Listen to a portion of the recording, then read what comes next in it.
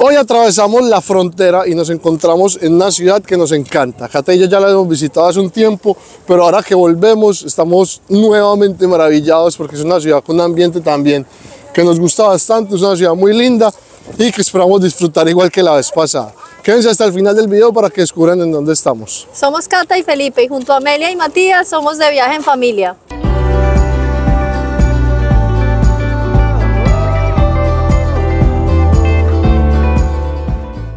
Continuamos con nuestras vacaciones en familia, muy contentos porque ya tenemos toda la familia reunida.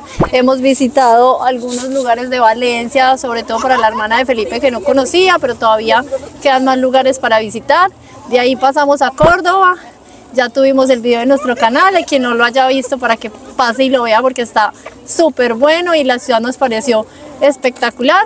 De ahí pasamos a Sevilla, una ciudad que yo ya conocía, pero el resto de la familia no. Y también les encantó, es preciosísima. De esa también tenemos video. Y ahora en este momento nos encontramos en la ciudad de Lisboa. Maravillados, como les dijo Felipe, Felipe, perdón, ya habíamos venido aquí hace algún tiempo, pero está muy bien venir a redescubrir la ciudad y hacerlo en familia. Lisboa es la capital de Portugal y es también la ciudad más grande de Portugal. Todo su centro, digamos el centro de Lisboa, tiene aproximadamente 550 mil habitantes, pero si se tiene en cuenta toda el área metropolitana, llega casi a los 3 millones de habitantes. Lisboa está eh, bordeado por el río Tajo y tiene acceso directo al océano, lo cual le permitió que durante los años 1500, durante el siglo XVI, tuviera gran importancia en todo digamos, el comercio marítimo que se dio con las Indias. Y desde aquí también fue que se hicieron las primeras expediciones mercantiles hacia China y la, y la India. Entonces, pues Lisboa, la verdad, tiene una tradición marítima bastante amplia. Y en este momento, pues precisamente nos encontramos caminando acá al lado del río Tajo, en donde hay varios puertos, es un río completamente navegable y una, un lugar también muy bonito por descubrir. Una de las principales postales de aquí de Lisboa es el puente 25 de abril, sobre todo por su similaridad con el puente Golden Gate. Este puente atraviesa el río Tajo y las diferencias que tiene con el anterior puente es que este es un poco más largo, pero sus torres son más pequeñas. En este momento nos encontramos en Belém con M, eh, y Belém es una freguesía, y eh, no sabíamos que era eso, pues ya lo investigamos. Quiere decir exactamente feligresía, y es que era un distrito parroquial eh, de acá de Lisboa. Es uno de los distritos de Lisboa, está ubicado a las orillas del río Tajo, y pues es un atractivo turístico principalmente porque aquí se encuentra todo este paseo al lado del río que atrae bastantes turistas, es muy lindo caminarlo y tiene otras cosas muy interesantes como los pasteles de Belén, los pasteles de nata, que están deliciosos, ya los vamos también a ir a probar. Eh, tiene la torre de Belén, o sea, tiene muchas cosas interesantes que ver.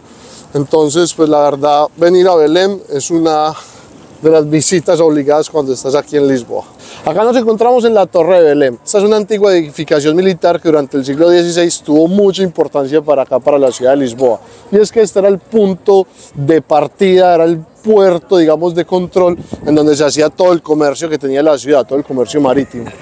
Em, fue construido alrededor del año 1500 y posteriormente a todo este funcionamiento como, como puerto y como punto de control fue también una prisión y posteriormente sirvió también como punto ya de control aduanero para el cobro de impuestos. Era una protección a la ciudad porque eh, aquí en el río Tajo, esta es de la desembocadura, eh, entonces pues claro, este es el punto de acceso digamos navegable y por eso la importancia de esta torre, está en todo el punto de entrada.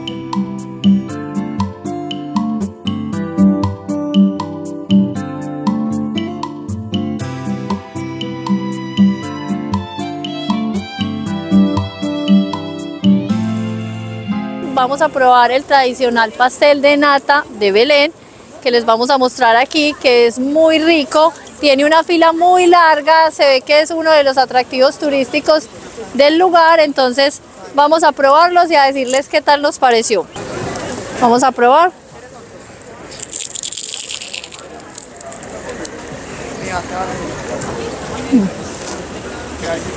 Muy ricos.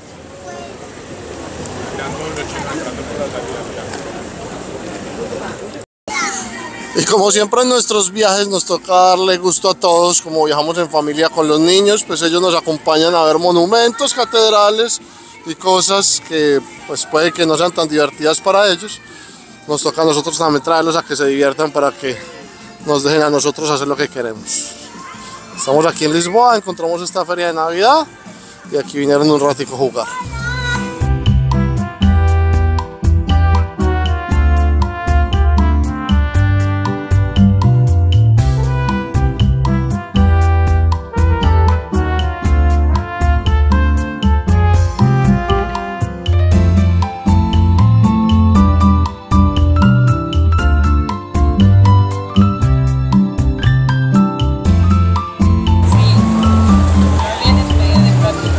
Hoy es nuestro segundo día aquí en Lisboa y lastimosamente ya tantos días de frío acumulados, de estar caminando, de desgaste, eh, ha cobrado sus primeras víctimas. Hoy Cata no pudo salir, se sentía bastante enferma, entonces se ha quedado en casa en calorcito recuperándose, pero yo sí no me podía quedar en casa y me he venido a recorrer Lisboa. Igual no estoy solo, estoy con el resto de mi familia, estoy con la hermana de Cata, estoy con mi hermana, eh, prometido y vamos a hacer un recorrido por Lisboa a conocer, entonces seguramente ellos me, me irán apoyando. Cosas por mencionar es que, bueno, Lisboa es una ciudad que tiene, al igual que Roma, siete colinas, entonces hacer un recorrido solo a pie puede dificultarse porque, claro, constantemente hay que estar subiendo y bajando y eso para las piernas y para las rodillas puede resultar bastante fatigante. Entonces, planificar un poco bien los viajes, eh, sobre todo hay un tranvía, uno de los eléctricos amarillos, el número 28, eh, con el destino a Prazeres, que hace un recorrido más o menos por todos los puntos de interés turísticos de la ciudad. Entonces, bueno, una recomendación es eso, tener en cuenta que tomarlo en el centro eh, puede ser bastante complicado porque cuando llega al centro ya viene ocupado, entonces eh, va a ser difícil que pare. Por lo cual hay que buscar la estación de inicio y dirigirse hasta allá para poder eh, tomar el tranvía. Seguramente tocará hacer algo de cola, esperar un rato, pero ahí lo vas a poder tomar, porque en el centro, como decía, ya va a llegar lleno, entonces pues es difícil montarse. Eh, una cosa también importante, eh, es una ciudad como la mayoría de Europa, que la mejor manera de conocerla es caminando, perdiéndose por sus calles, por lo cual, sobre todo acá en Lisboa, traigan zapatos, traigan calzado cómodo, que les permita caminar. Hay algo muy particular de Lisboa y es el que conocen como el pavimento de Lisboa, eh, todo lleno de adoquines, da, una, da un aspecto espectacular, se ve muy bonito porque todas las calles se ven decoradas, tienen diferentes diseños, combina muy bien con los azulejos de las fachadas, la verdad tiene un paisaje hermoso, pero este adoquinado para caminar puede resultar pues, bastante incómodo si no traes el zapato adecuado. Entonces, prepararse bien, calzado adecuado y a conocer Lisboa que es hermosa. Bueno, recalcar también que Lisboa se precia de tener la librería Bertrand, que es la librería en funcionamiento más antigua del mundo, fundada, como lo pueden ver acá, en 1732. Este recorrido de Lisboa lo estamos empezando por uno de sus barrios eh, más típicos, más conocidos, es el barrio del Chiado. Mencionar que, digamos, la historia de Lisboa sí ha tenido muchos movimientos, pero se encuentra partida en dos, exactamente en el año 1755. Y es que el primero de noviembre de ese año hubo un gran terremoto que arrasó con gran parte de la ciudad eh, y a partir pues, de ese año lógicamente se empieza a reconstruir. Y este barrio en esa reconstrucción toma un carácter un poco, digamos, lo más burgués, luego convirtiéndose también un poco bohemio, literario, y es aquí donde se encuentra esta librería que les acabamos de mostrar. En este terremoto hubo un barrio que quedó en pie y por tanto es el barrio, digamos, más antiguo y que conserva su carácter tradicional que más tarde lo visitaremos. Y pues como este barrio eh, surge después del gran terremoto de 1755 y se empieza, eh, digamos, su reconstrucción desde ese momento, siendo una gran obra de ingeniería porque pues había que reconstruir no solo este, sino la mayoría de la ciudad. Eh, aquí pues se hizo un poco a la semejanza de la que era la ciudad más importante de Europa en ese siglo XVIII y era París. Es por eso que vemos terrazas de café, eh, vemos incluso tiendas que llevan el nombre de París, París en Lisboa. Entonces, Eh, un barrio también con una arquitectura bastante linda y bastante interesante por recorrer. La verdad es que Lisboa tiene muchas historias por contar y recorriendo esta ciudad estamos muy contentos. Y si hay alguna estructura que pueda dar fe de este terremoto de 1755 es este que hoy se llama el Museo Arqueológico del Carmen y era un antiguo convento, el convento de las Carmelitas, y que fue arrasado también con este terremoto. Eh, quedaron en pie pocas cosas de acá, se ha reconstruido eh, posteriormente usando los mismos escombros, entonces si se recorre con cuidado eh, sus fachadas se puede ver este, este rastro de escombros.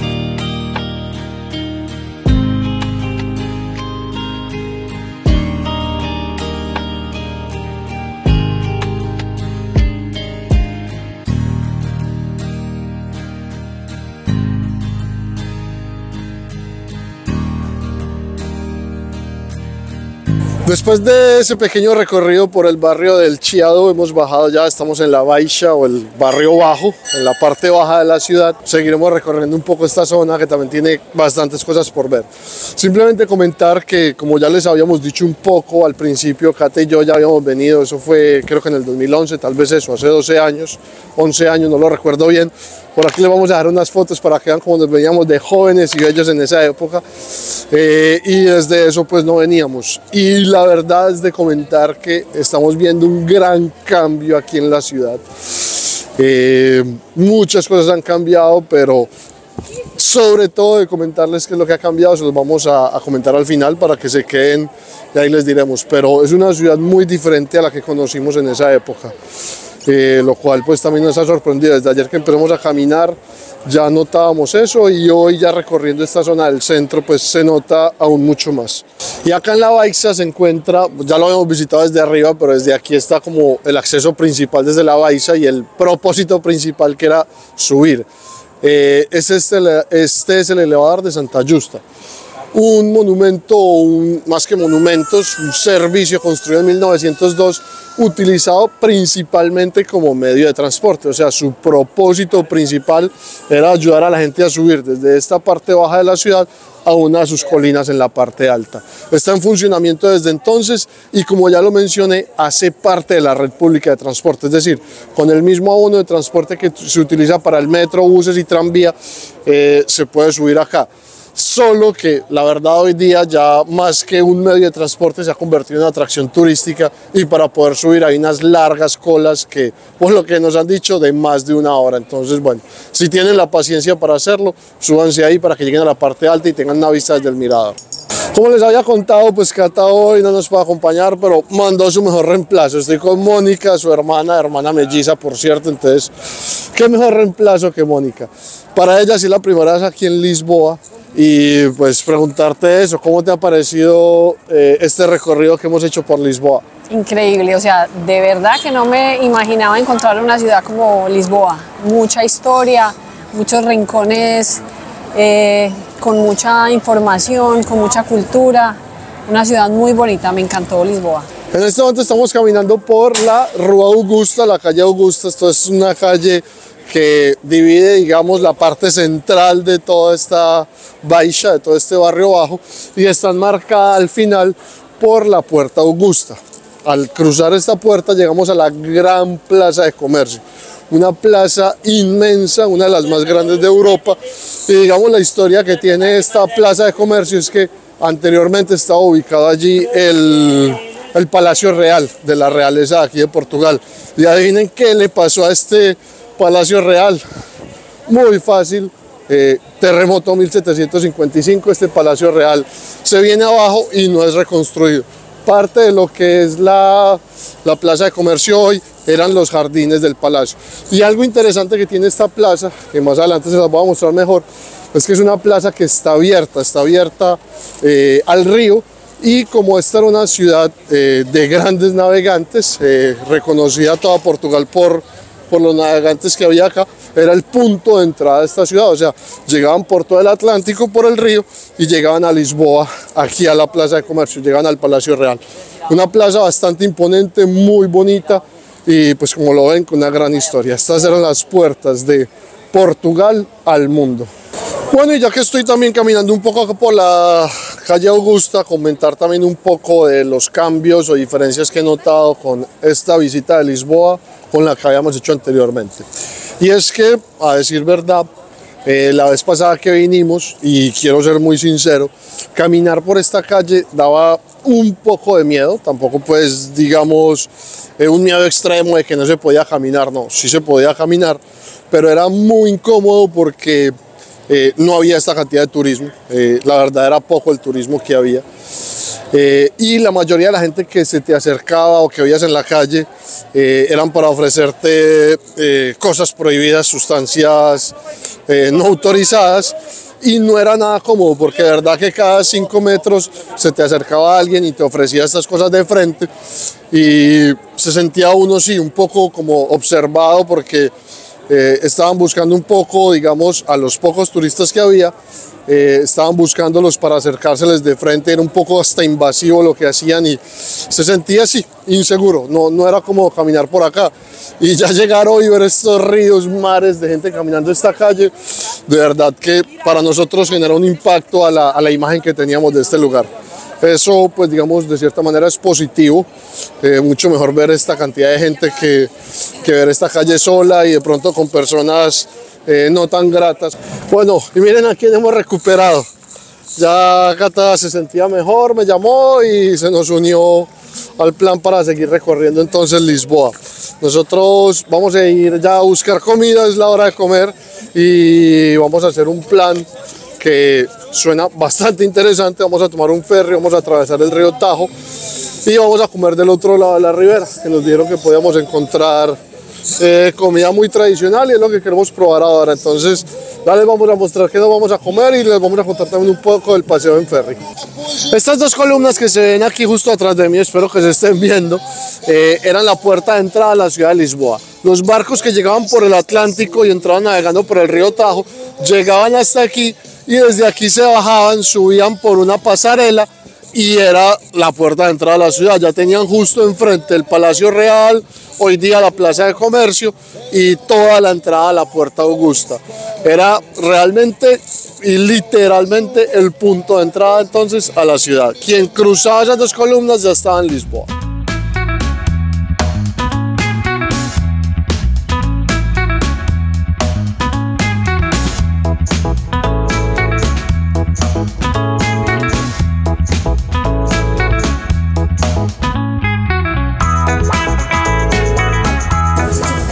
Nos encontramos en el ferry que hace parte de la red pública de transporte de aquí de Lisboa. Vamos a ir hacia la otra ribera a buscar algo para comer. En este momento vamos en camino, el ferry nos costó un euro con 40 y aquí vamos a ver, a descubrir un poquito del otro lado del río Tajo para ver algo de restaurantes y comer de la comida local. Entonces hemos cruzado el río Tajo, en el ferry se demora aproximadamente unos 10 minutos. Estamos en un lugar que se llama Casilas y miren si estas vistas no valen completamente la pena.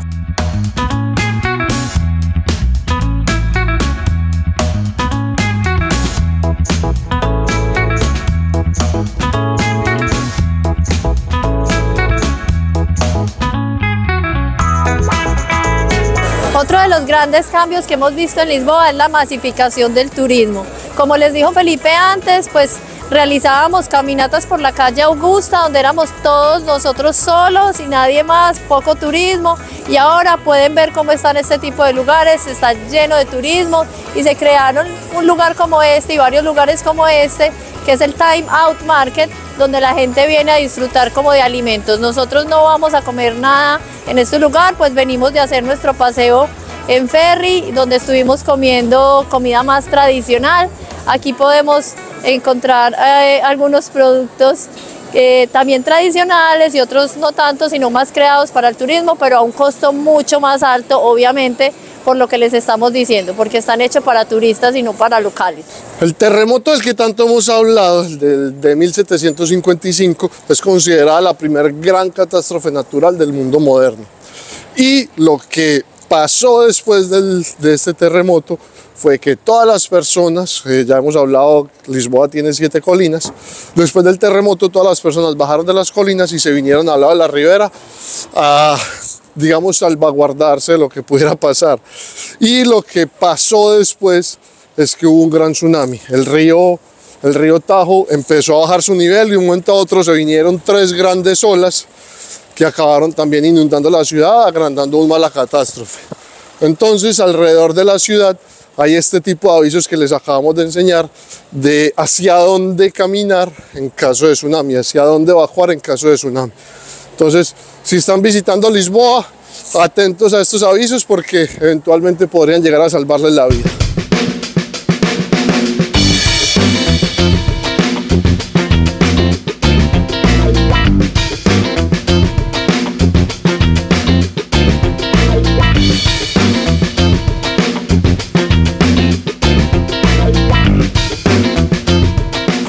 Estamos en nuestro tercer día aquí en Lisboa y vamos caminando hacia el barrio de la Alfama. Nos encontramos con la catedral que la tengo aquí atrás de mí y quiero que vean cómo nos veíamos hace 10 años cuando estuvimos visitando este lugar. Una particularidad de esta catedral es que más que una catedral parece una fortificación o un castillo. Mientras seguimos subiendo aquí otra de las colinas de Lisboa para ir a la Alfama, eh, les comentamos otro de los cambios que hemos notado en esta nueva visita que hicimos a Lisboa. Y es que teníamos la impresión, la imagen de que Lisboa era muy barata, que era muy económica.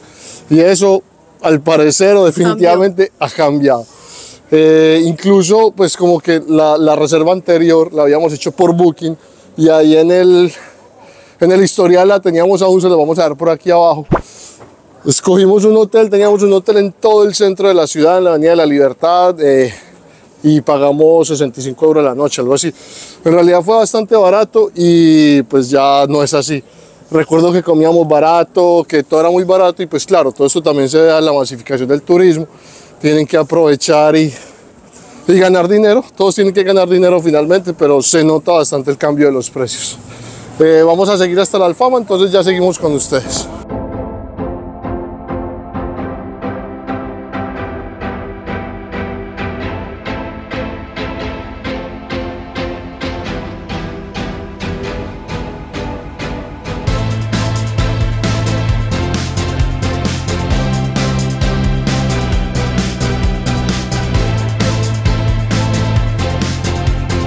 Bueno, en el barrio de la Alfama termina nuestro tercer día aquí en Lisboa. Terminamos creo que en un sitio espectacular porque desde este barrio tienes una vista muy muy bonita de toda la ciudad. Puedes encontrar diferentes tipos de miradores donde puedes ver el río, donde puedes ver la ciudad y todo se ve muy bonito. Aquí puedes apreciar como la arquitectura arquitectura perdón, del barrio, de los diferentes barrios y la verdad es que nos ha encantado, pueden sentarse en los diferentes restaurantes que hay en cada uno de los miradores a tomar una copa de vino o un café o lo que quieran para poder disfrutar de esta ciudad tan maravillosa que nos ha dejado sorprendidos porque como lo hemos dicho en el video, la hemos estado comparando con hace 10 años cómo fue nuestra percepción de Lisboa y la verdad hemos notado muchos cambios, entre esos pues son cambios muy positivos que nos tienen muy contentos de haber vuelto a visitarla.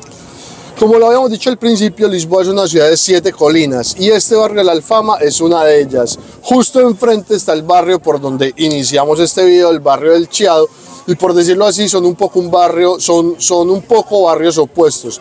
El de allá es un barrio que se reconstruyó después del, del terremoto de 1755, es un barrio un poco más burgués, es un barrio un poco más moderno en cambio, este barrio tiene una gran particularidad y es que este fue el único barrio que quedó en pie en ese terremoto de 1755. Entonces, es el barrio más antiguo y es el barrio un poco más tradicional y popular de acá de Lisboa.